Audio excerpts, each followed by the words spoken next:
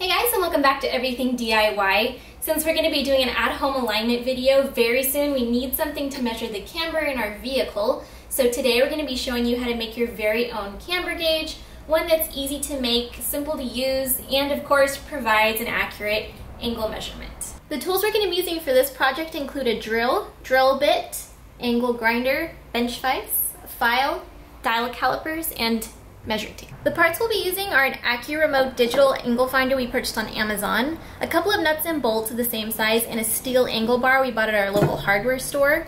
Make sure it's steel and not aluminum, or else the digital angle finder magnets will not stick.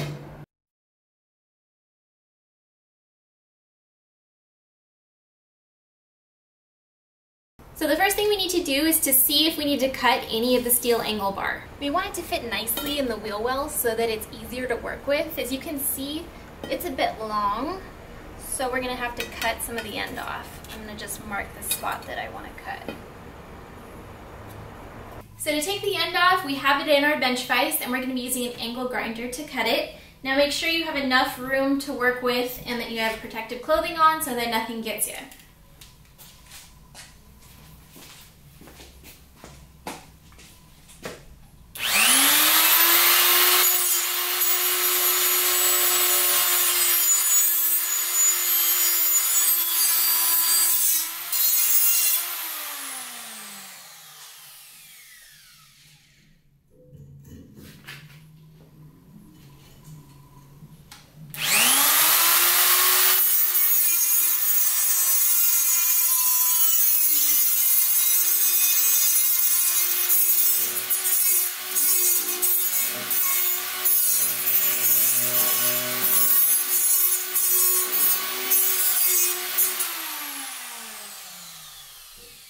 Before we proceed any further, we're gonna file down the edges of our bar so that we don't cut ourselves when we're using it. And should be almost done. Now with the bar at a better size, we're gonna measure our wheels so we know where our bolts are gonna go. To get the right distance for the holes, we'll be measuring the diameter of the outside of the wheel on the car this will be used for. Remember when you're measuring the outside diameter of the wheel, you're also measuring the rim flanges so it will be longer than the wheel size. Okay.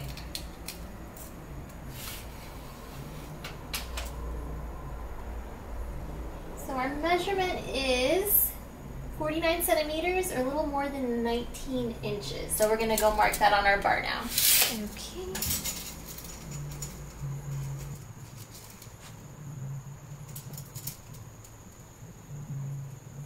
And 49. You want to make sure the holes you're drilling are the same if not slightly larger than the bolts you're going to be using. So make sure you have the right bit size.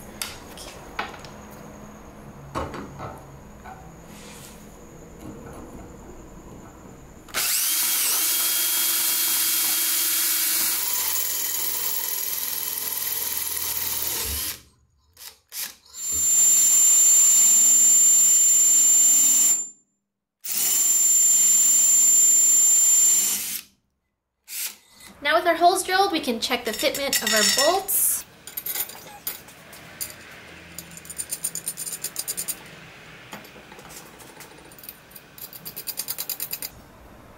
Yep, they fit. Now we should verify that the distance between the bolts is good. So, put up. Yeah, looks good. Next you want to make sure each of the bolts are the same length so that you get the most accurate measurement possible and I'm going to do that using a caliper.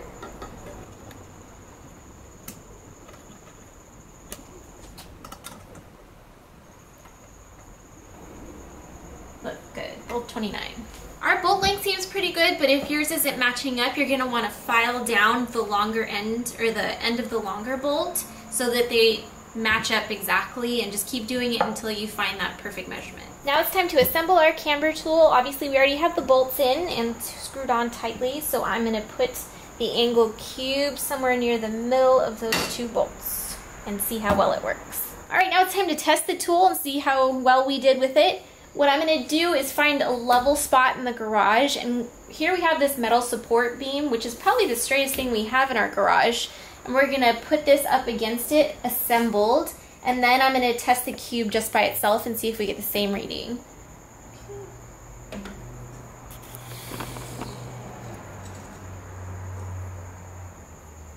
Zero, and zero. Nice. If for some reason your measurements didn't match up, just double check your work, make sure that somehow the bar itself didn't actually bend, and if those are good, just try a different surface. It may not be level where you're working. Okay, so here we have our finished product. To use it, just turn it on. Then we're gonna push the bolts flat up against the rim, right down the center. You should be able to get your measurement. Okay, so that's our camber gauge video. We are gonna have the future alignment video right there for you when it's ready. And um, if you felt like this video is helpful, please give it some love by hitting that like button. And if you want to join our DIY community, please press subscribe up there.